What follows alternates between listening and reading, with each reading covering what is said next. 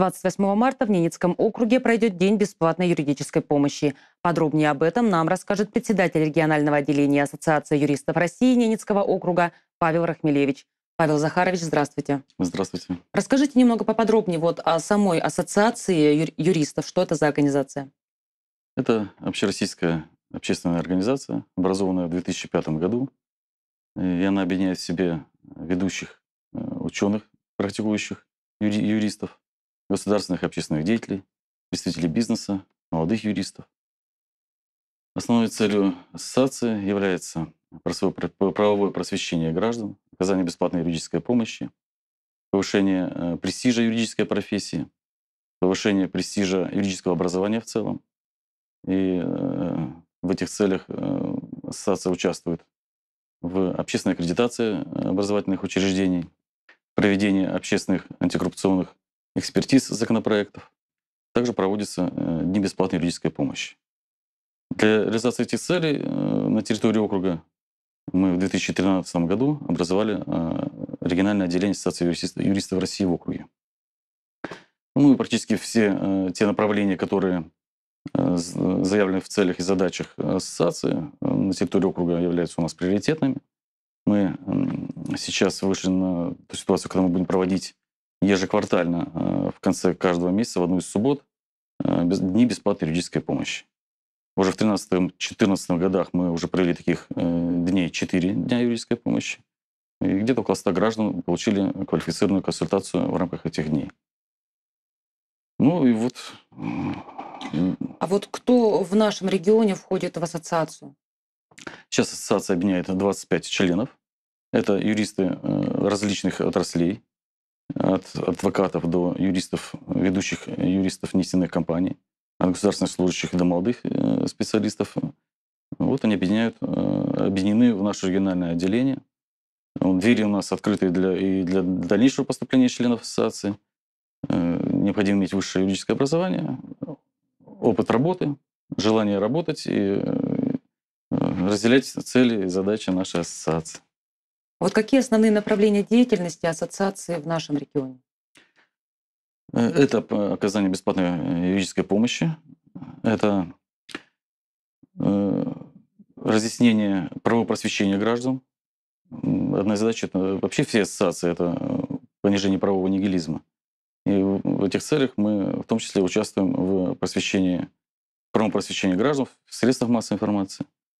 Мы сейчас получаем аккредитацию в качестве организации, э, имеющей право осуществлять антикоррупционную экспертизу. И это тоже будет одно из наших мощнейших направлений. Ну, а, э, кроме того, мы в 2014 году реализовали проект э, по помощи гражданам, прибывающим из Украины. Около 40 человек получили квалификацию, консультацию юридическую, ну, правовую помощь, как в существующих условиях защитить свои права и возможности. Вот это основные направления деятельности нашей организации. Ну вот, естественно, вот это мероприятие, которое 27 числа у нас пройдет, это вот у нас одно из знаковых наших мероприятий, это оказание бесплатной юридической помощи ну, вот проходит уже не первый год. Э, сколько, с какими чаще всего вопросами обращаются жители нашего региона? Да, есть э, особые э, расставленные приоритеты. В основном одна из самых больших ну, а, по объему вращения это связано с жилищным строительством, жилищным обеспечением граждан, социальным обеспечением граждан, есть вопросы по договорному праву. Ну, вот в основном это социально-бытовое обслуживание населения, их социальные права. Это э, самые яркие вопросы, которые чаще всего задаются членам ассоциации на приеме. Вот 28-го пройдет э, День бесплатной юридической помощи. Куда могут обратиться э, жители Наринмара и жители региона?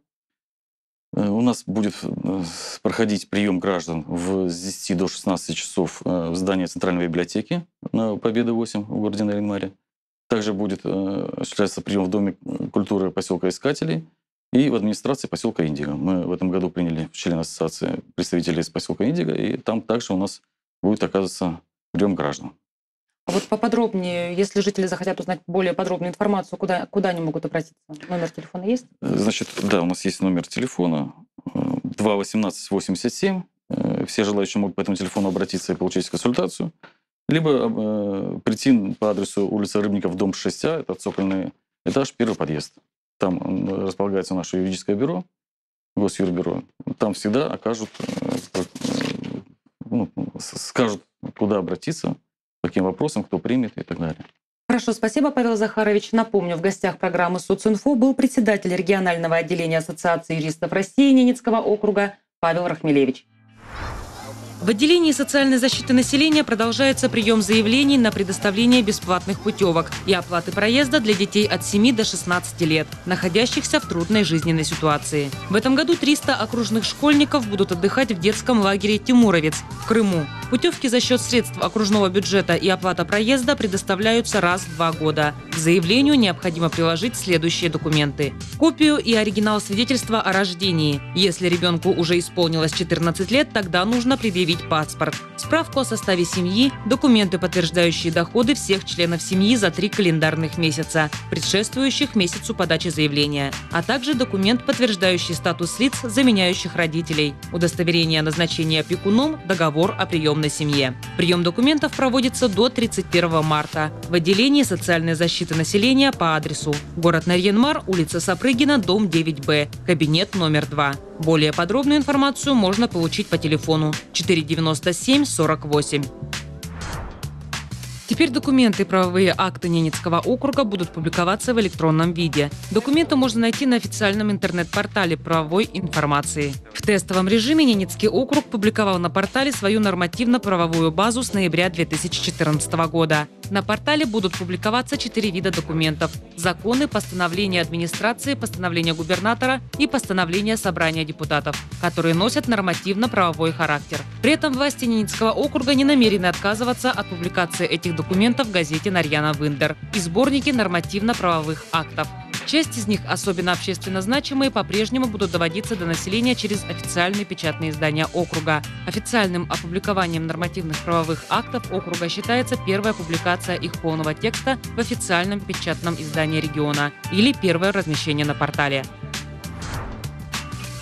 Провести летние каникулы с пользой и получить заработную плату в этом году смогут 250 подростков от 14 до 18 лет. В рамках программы «Социальная поддержка граждан региона» денежные средства выделяются работодателям для оплаты труда несовершеннолетних и для компенсации затрат работодателям. Сейчас проводится работа с работодателями и определяется потребность в рабочих местах. По предварительным данным, количество подростков, желающих подзаработать, может возрасти до 400 человек. В связи с этим Департаментом здравоохранения, труда и социальной защиты населения региона региона подготовлен проект в части увеличения размера компенсации работодателям, привлекающих на работу детей в возрасте от 14 до 18 лет. Ранее часть детей также трудоустраивалась по программе «Молодежь». Учитывая изменения в законодательстве, предусмотреть дальнейшее финансирование трудоустройства детей по этой программе было невозможно. Сегодня мы прорабатываем вопрос, чтобы расширить возможность в рамках э, той программы, которую я сказал ранее, э, трудоустройства детей, чтобы охватить э, всех желающих, ну, как минимум это показатели 2014 года. На каждого подростка в бюджете предусмотрено 1375 рублей компенсации. В итоге несовершеннолетние за месяц работы могут получить порядка 12 тысяч рублей. Задать вопросы и получить личную консультацию вы можете на приеме народных избранников. Региональная общественная приемная председателя партии «Единая Россия» Дмитрия Медведева в Ненецком округе информирует о датах личного приема депутатов. 30 марта вас ждет Виталий Кожевин, депутат городского совета. Прием проходит с 14 до 17 часов по адресу улица Смедовича, дом 20А. Здание культурно-делового центра «Арктика». Код с площади Марацей. Телефон для справок 2 16 90. Получить консультации специалистов налоговой инспекции все желающие смогут 27 и 28 марта в рамках акции «День открытых дверей». Налогоплательщики смогут получить консультации по исчислению и уплате НДФЛ, заполнить и подать налоговую декларацию по доходам, скачать специальную программу и воспользоваться интернет-сервисами. Прием будет проходить по адресу улица Оленная, 25А, операционное окно номер 1 и 2. 27 марта прием пройдет с 9 до 20 часов, а 28 числа с 10 до 15.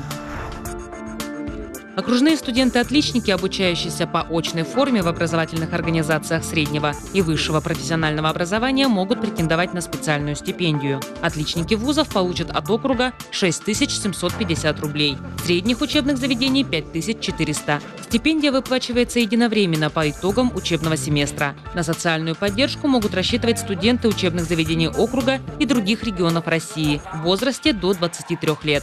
Документы на получение денежного поощрения принимаются в отделении социальной защиты до 31 марта. Более подробная информация по телефону 497 48.